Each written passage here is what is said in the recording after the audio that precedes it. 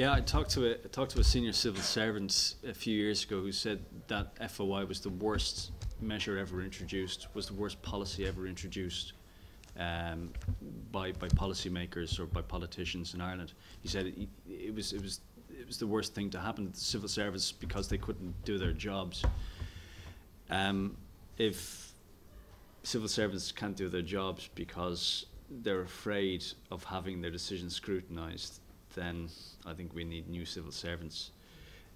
The the upshot of this is that Ireland eh, has, in many ways, become more secretive because they haven't just diluted the Freedom of Information Act; they they have turned it into eh, something akin to a Secrecy Act, whereby people are, are, are charged exorbitant fees to to access information that is owned by the public.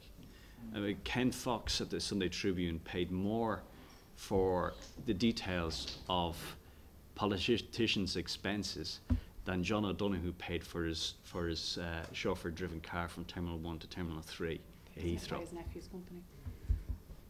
Now, uh, that that's that's indicative of a problem, and uh, if I've, I've talked about whistleblowing, we've been campaigning for for whistleblower protection for some time. We've we've talked about the need for the regulation of lobbyists, um, for curbs on on political spending and. Uh, lower thresholds for, for disclosing political donations. There's no silver bullet, no more than, than, than whistleblowing itself is going to tackle uh, corruption. If there is no culture of sharing information, you are going to see the kind of events we've seen more recently with people leaking information they believe should be in the public domain. And it costs them and it costs the organisations they work for dearly, both in terms of their reputation and for the whistleblower in terms of their liberty and, and their livelihoods. So uh, we, we need to see the introduction of, of, of, of a wide array of, of, of reforms, very cost effective, relatively painless measures, uh, in spite of what some senior civil servants would, would, would think.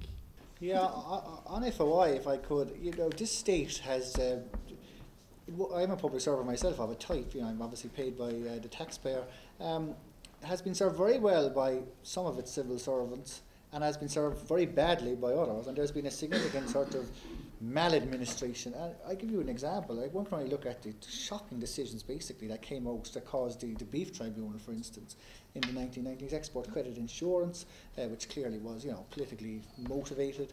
Um, and what's happened, I think, in terms of freedom of information, is that an attempt to open up society has been treated by those who are paid by that said same society as a threat. And this is the last thing that should happen, but this is the instinctive reaction. And of course, now we hear stories about civil servants not wanting to put anything on paper or on email, you know, that the, the advice is all oral. And of course, this is a very bad thing for the state and its history because in 30 years' time, when these things are opened up, we, we, won't even be able to know why these decisions were taken at all. Uh, I think what's happened is the state uh, was overwhelmed in terms of the freedom of information requests it was getting, and you know, I, I think there's something to that. Uh, but what happens now is out, is only newspapers now really can put in place FOI requests because they're the only ones who have who have the funds uh, to do it. And most of the stories we hear now the newspapers, including Ken Fox's excellent work, uh, is from those who actually have the money to expose this. It's very difficult for the average citizen, like any of us, uh, to get information except what pertains to ourselves because we simply couldn't afford it. Thank you very much, Arlene. We've two questions uh, queued up. Could I just um, maybe ask, in terms of yourselves as, as a group of people here this evening, and today's publication of our ranking in the CPI, the Corruption Perceptions Index. Our ranking, I believe, John, is 14th. 14th. So, so apparently, by this ranking, we're 14th least corrupt uh, country in the world. Would this group, would this room this evening agree with that? Do we feel that that's accurate?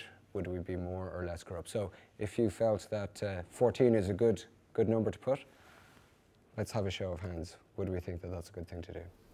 Uh, I think it's, I, uh, you know, I'm the only one putting up my hand. I think Yeah, I don't think we're terrible. you see, it's, it's like if you look at the corruption John paints, you know, and like I was a student years ago in, in Eastern Europe, and you basically had to cough up to the guards if you wanted to on, on the train. So well, you're going to be toughed off, uh, you know, to get from you know Czechoslovakia, the Czech Republic into Slovakia in the old days when it was all Czechoslovakia or whatever. You know, we don't have that type of corruption here. If you measure our corruption with people below us, you know, I spent a lot of time in the United States. Is the United States more manifestly corrupt than Ireland? I, I, wouldn't think so. Uh, in fact, it has got much more significant lobbying registration rules, which I have, have argued, maybe not very persuasively, is a good thing. Um, it, you know, and while 14th, you know, and we, you know, as an informed group here, can see the evidence of the Beef Tribunal, of Moriarty, you know, of Flo- we all kind of suspected these things happened. Now we have evidence.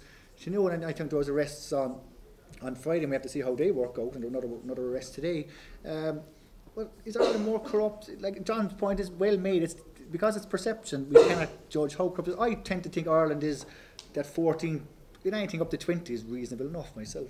Yeah, I, I mean, there is a variation in some of the feedback given by, by those collecting the, the um, uh, opinions, uh, the, the, the survey groups. Uh, one, one group um, would have ranked us in around 20th position with a score of 7.4. So there is a variation.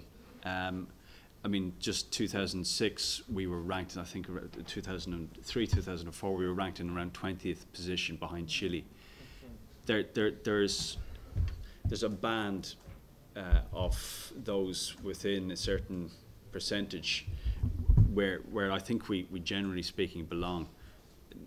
I've made the point earlier today that there, there are no countries immune to corruption. There have been huge corruption scandals in Germany, the UK, France, um, Spain, and it, even in, in, in some of the Scandinavian countries in New Zealand where there worked, there, there, Australia, big big corruption scandals, and, and, and corruption scandals at both a petty and grand level, political corruption, business corruption. So I think it would be inaccurate to say that that where where where, where that, thi- that this is, is wholly unrepresentative. What it is representative of is a certain type of corruption. As I pointed out earlier on, we would rank far far lower on an index that was looking at the role of nepotism, the role of, of undue influence in policy making. That's, that's a different type of corruption. I think that needs to be borne in mind. There are different types of corruption.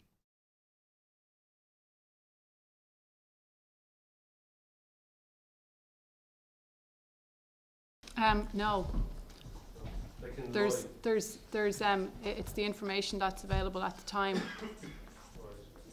That's, that's given, um, and, you know, that's, it's clearly stated, I think, and when, um, I, I, I've never answered a parliamentary question as a civil servant, but I've seen them, um, and it's, it's stated generally that it's the information that's available, and then it's given, and, uh, you know, that's, Those written up by the civil servants and the minister has. the minister has to approve it, of course. Yeah, but if he knowingly, I mean, if you could demonstrate that, that he knowingly gave. Well, it's only, it's, it, yeah, that, I imagine that that would be a difficult thing to do. Um, that you would have to know, and you would have to know that the information was, was misinformation provided to the, the minister, and that the minister, um, then the minister would have to be proven to have known otherwise when the minister read out the information in the Dáil.